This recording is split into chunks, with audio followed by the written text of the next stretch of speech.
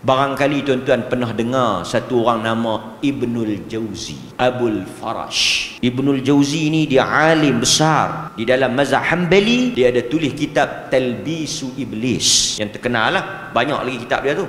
Tuan-tuan tahu cerita dia sangat menarik. Ni alim besar, ulama besar ni. Bukan ustaz kampung ke, bukan siapa-siapa. Alim besar. Allah uji dengan anak.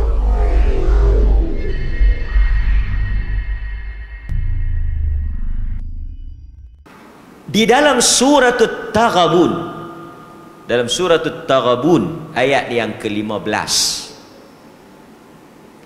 kalau tuan-tuan tanya kalau yang tuduh orang kata benda yang tak betul tu Quran sebut apa? Tuan-tuan boleh tengok dalam suratul Ahzab ayat yang ke-58. Kalau tak silap saya, Quran kata walladzina yu'dzuna minal mu'minina wal mu'minat bighairi maktasabu faqad ihtamalu buhtanan. Dalam surah al-ahzab ayat 58 Quran menggunakan perkataan buhtan. Buhtan ialah fitnah yang dipahami oleh orang Melayu. Menuduh satu perkara yang tak dilakukan oleh orang lain. Orang oleh kita lah kalau kita tak buat benda tu. Baik. Now kita balik kepada fitnah yang dipahami oleh Quran Quran kata dalam surah At-Taghabun ayat 15 tadi. Allah Azza wa Jalla sebut apa? Allah kata innama amwalukum wa auladukum fitnah.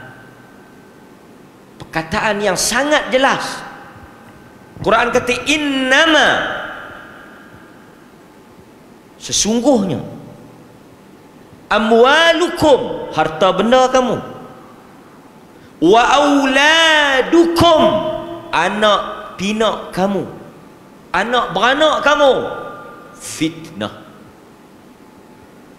Kalau kita faham lagu orang Melayu duk kata reta dia tuduh dia. Kalau kita guna perkataan fitnah yang orang Melayu guna harta dia tuduh dia. Anak dia tuduh dia. Tak Quran tak maksudkan itu.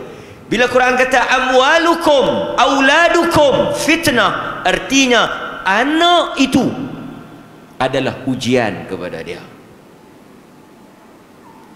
Oi tuan-tuan. Dalam kehidupan manusia ni Quran kata apa? Benda yang menjadi kebanggaan tafakhurum bainakum. Dalam Quran sebut kan benda yang manusia berbangga-bangga ni apa dia? Anak ah Anak dia kata. Kan? Kita kalau jumpa di tempat kenduri kita akan sembang apa? Anak ang kerja apa? Saya pi beli satu umum lah, tak tuju mana-mana orang. Pi beli satu nasi lemak. Duk tunggu je nasi lemak. Lepas tu orang yang apa jual nasi lemak tu dia bagi apa? Uh, tolong habaq masa saya pun jenis lupa ingatan tahu malam tadi? Tak nasi lemak dia dia bagilah sedekah dekat kawan yang tunggu sebelah saya tu. Dia kata bagi apa ni? Saya sedekah. Eh saya ni tak boleh ambil sedekah ni. Pasal dia cakap derah jadi saya dengar lah saya pun duduk tunggu nasi lemak saya second customer. Tak apalah. Tak tak saya saja nak bagi. Memang saya duduk bagi kat siapa-siapa main bagi saya duduk bagi lemak. Eh saya tak boleh ambil sedekah ni. Anak saya tu seorang pakar. Yang seorang tu engineer yang oh itu dia. Kita pun macam nak tak kereta beli eh pasal kita engineer pun tak. Pakar pun tak. Dia nak abang anak dia jawab besar-besar duit banyak. Hebat-hebat jadi dia tak dia tak boleh terima. Baguslah satu sudut. Tapi tuan-tuan demikian orang. Saya pi satu majlis raya. Darah dia cakap darah. Saya pun tak tahu pasal apa dia cakap darah. Kalau forum lain lah kan pasal ramai orang nak dengar. Saya dah larang anak saya beli rumah. Nya beli juga bagi kat saya saya duk habaq dah. Yang hok nu beli pun tak ada duk lagi. Anak-anak ni duit banyak beli lagu tu kat mak ayah depa ish. Yang nu tak tahu lah. Tak tahu nak beli apa lagi. Oh dia duduk cerita. Dia duduk larang anak dia beli rumah kat dia. Pasal anak nu beli pun tak danduk lagi. Hebatlah anak dia. Kita tuan-tuan tak ada nak mati. Hak tu kita duduk bawa mulut pun. Anak kita kerja apa? Duduk megah lagi tu. Quran sebut. Salah tak tak salah ha? kita syukur kan? Ha, syukur. Cuma jangan salah niat. Yang tu ya. Saya tak kata apa. Saya kata contoh saya dengar. Saya kita tak marah pula baik. Kita sambung. Dalam hadis riwayat al-hakim satu hari nabi akhadha husainan faqabbalahu oh ni nak cerita bahaya anak eh. Nabi yang kata bukan saya kata nabi kata. Satu hari sahabat kata dalam riwayat Al-Hakim dalam Mustadrak. Al-Iraqi kata hadis ini sahih. Satu hari akhadha Husainan faqabbalahu. Nabi ambil Husain Al-Husain bin Ali faqabbalahu Nabi cium Husain Nabi ni dia Tok Wan. Tok Wan ni habis meta lah dengan cucu. Tu yang kita tanya mana haji tu? Cucu balik. Betul? Tak main mau jemaah. Oh, nampak nampak nampak nampak yang main ni selamat lah. Yang tak main kena. Cucu balik main tak main kan? Tok Wan duk pergi masjid. Nak pergi lah hari tu. Tok Wan pergi mana nak pergi masjid ada forum dia tak siapa nak main daulat eh tak apa Tok Wan bayar rumah lah Nampak? Ni Nabi kata. Nabi kata apa? Nabi peluk cium Hus Hussein. Nabi kata, tuan-tuan ingat. Nabi kata, Innal walad. Innal walada. Mabkhalatun. Majbanatun majhalatun mahzanatun empat benda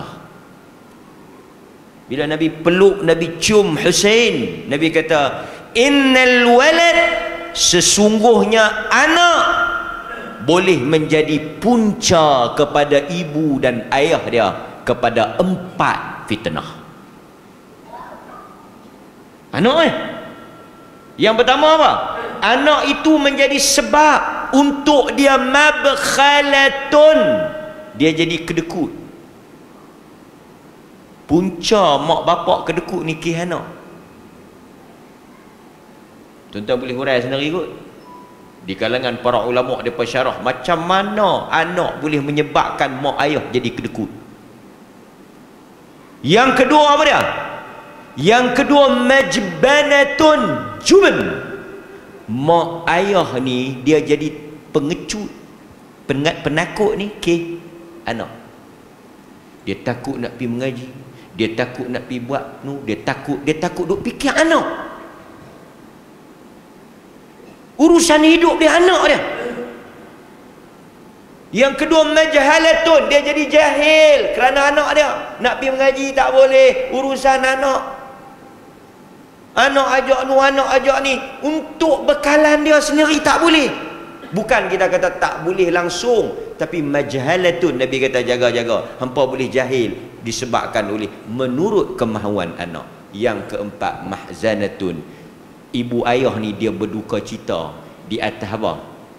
Untuk memenuhi tuntutan anak dia. Dan saya nak ambil sikit masa lah dalam kehidupan kita tuan-tuan. Bukan sahaja di kalangan orang-orang biasa yang Allah uji dengan anak. Barangkali tuan-tuan pernah dengar satu orang nama Ibnul Jauzi Abul Farash. Ibnul Jauzi ini dia alim besar. Di dalam mazhab Hanbali dia ada tulis kitab Talbisu Iblis. Yang terkenal lah banyak lagi kitab dia tu Tuan-tuan tahu cerita dia sangat menarik. Ni alim besar, ulama besar ni. Bukan ustaz kampung ke, bukan siapa-siapa. Alim besar. Allah uji dengan anak saya cerita sikit sementara kita ada masa untuk azan saya cerita sikit Ibnul Jauzi Abul Farash dia sebut dalam riwayat hidup dia seperti yang disebut juga oleh Al-Zahabi dalam Syiar A'lamin Nubala cerita ni riwayat hidup dia yang real dia kata setelah aku membaca kelebihan mempunyai anak aku telah khatam Al-Quran 30 juzuk. Kemudian aku doa Allah Ta'ala bagi aku anak. Ibnul Jauzi kata lepas dia baca hadis-hadis kelebihan berkahwin, kelebihan ada anak, keutamaan ada anak, dia khatam Quran 30 juzuk, dia doa, ya Allah bagi aku anak, Tuhan bagi 10 orang. Lima lelaki, lima perempuan. Kebanyakan anak dia mati. Tinggal laki-laki seorang. Nama Badruddin Abul Qasim Ali. Anak siapa? Ibnul Jauzi. Alim besar. Tokoh hebat Ibnul Jauzi ni. Anak ulama ni. Yang nak kata anak ulama ni Badruddin Abul Qasim. Anak dia. Tuan-tuan tahu anak dia jadi macam mana? anak dia ni telah sesat telah jadi kaki maksiat telah jadi satu orang yang teruk. Kemuncak kepada keterukan dia tu apabila Ibnul Jauzi ditangkap dan dipenjarakan dia telah ambil kitab pak dia ni pi jual pasal nak pi berfoya-foya bukan ambil pi mengajar ambil pi jual ambil pi lelong. Pak dia masuk jail dia ambil kitab-kitab pak dia lelong. Duit dia pi berfoya-foya sampai ke mati. Ibnul Jauzi bila tengok anak dia jadi macam ni anak dia jadi liang jadi sesak jadi jadi tak ketahuan ni. Dia telah tulis satu risalah kepada anak dia buah hati dia yang menariknya saya nak quote apa yang dia kata dalam tulisan tu. Dia kata apa? Dia kata aku menulis risalah ini untuk aku menegur dan memperbetulkan betulkan kesilapan yang kau lakukan dalam aku sedar bahawa hidayah di, di tangan Tuhan. Dia nak habak apa? Aku tulis kalau hang baca Allah nak bagi hang hidayah hang sedar. Tapi Ibnul Jauzi kata kalau Tuhan sesatkan tak ada siapa boleh bagi hidayah. Tuan-tuan tahu anak dia bila baca dia tulis watawasau bil haq watawasau bis sabr ni aku nak pesan dekat hang ni. Anak dia jadi kuih sakan. Bukan berubah kuih sakan sampai ke mati. Tapi Allah ganti dengan anak baru Muhyiddin Abu Yusuf yang saleh. Saya nak habak apa demikian ujian anak. Dan berapa ramai di kalangan kita yang tersungkur dengan harta dan anak. Ha, itu saya nak sebut fitnah. Pasal itu bila masjid buat macam ni tuan-tuan kita boleh bawa mai keluarga kita ke masjid kita sedang bertarung dengan fitnah anak dan harta. Wallahu taala a'lam